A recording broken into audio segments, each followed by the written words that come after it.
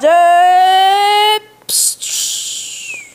Hello guys, welcome to my channel. So now we're gonna I gonna up next that this video because I'm so boring. So now after the previous video, um let's try so let's try go to YouTube again and we're gonna search IMJ station shout out to IMJ station because crazy stuff happening in his MJ station. Um shout out if you want three enchantress go to IMJ station.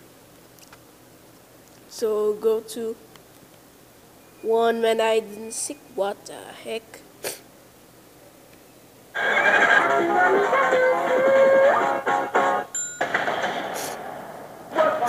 back with another 3 a.m. challenge. Today we're going to be doing a highly requested video, guys, and that is one man hide and seek with a Furby doll, guys. Look at this thing. Doesn't it already look scary? The one man hide and seek with a Furby doll is like the top comment in all of my videos right now. So today's the day I'm going to do it, guys. And this is no ordinary Furby doll, guys. This is a haunted Furby doll. I bought this doll from eBay and the guy told me, do not feed this Furby doll or he becomes haunted. So today we're to be feeding the Furby doll, guys. 40,000 likes, guys, and I'll do another one-man hide and seek with whatever toy gets the top comment, guys. Smash the like button. Go check out my merch, guys. We got some J-Station merch. Big shout out to anyone who orders merch, guys. For only a short time, we're giving 20% off. So you can look like a boss for cheap, guys.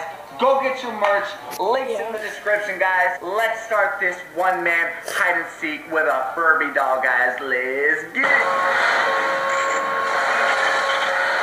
I used to have a Furby when I was very young, like one of the original Furbies. And one night when nobody was home, my parents were gone. I woke up and my Furby's eyes were glowing red, guys. It was really crazy. And that Furby actually learned how to say my name, guys. I don't know how it learned how to say my name, but hearing the Furby say my name scared me so much. Like, Furbies have been around for a long time, guys. There have been tons of instances where Furbies have become become haunted.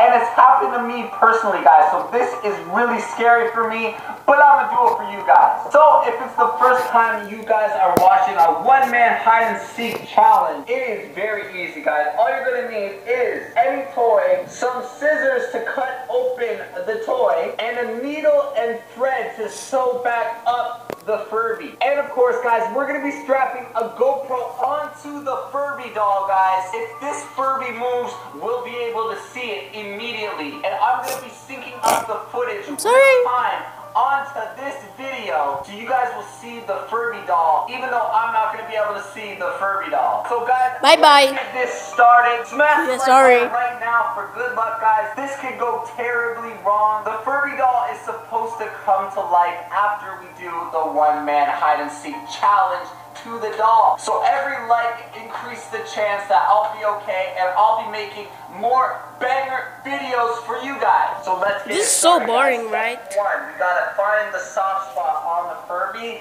and a Furby actually So like one man has six currently one man tag, so you know that link in the description, J Station, yeah.